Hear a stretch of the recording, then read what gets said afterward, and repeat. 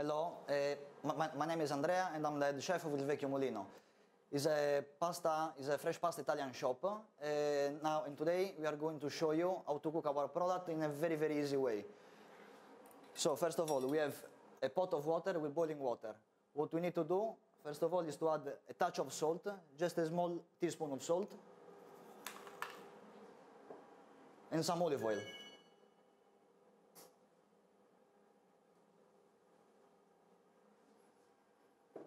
After that, we are going to put our pasta on.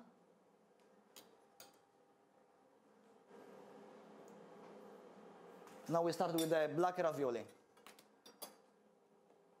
Okay, once the pasta is inside, we just need to turn them a bit, just not to stick together. And we leave them to cook for three minutes, just three minutes. In the same time that the pasta is cooking, we are going to put our vecchio mulino sauce inside of one pot.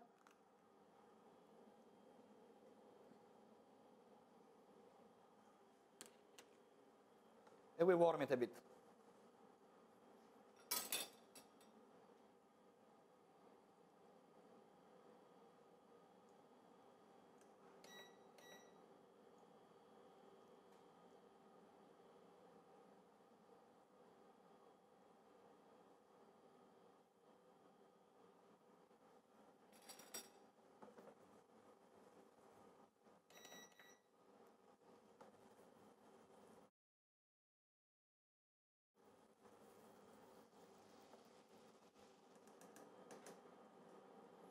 So after past three minutes, what we need to do is just to pour the ravioli in our pan with the ready sauce and just warm it for another one minute.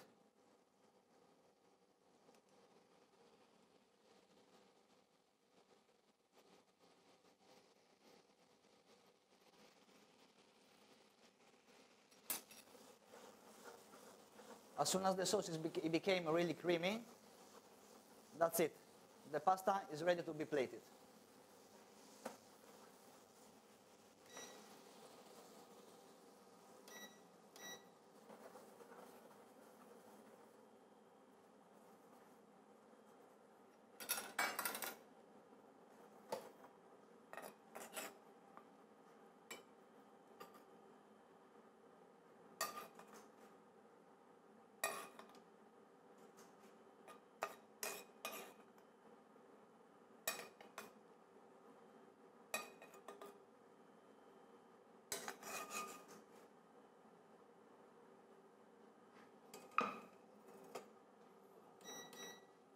So basically, this is our black ravioli with a filling of prawns and mascarpone cheese.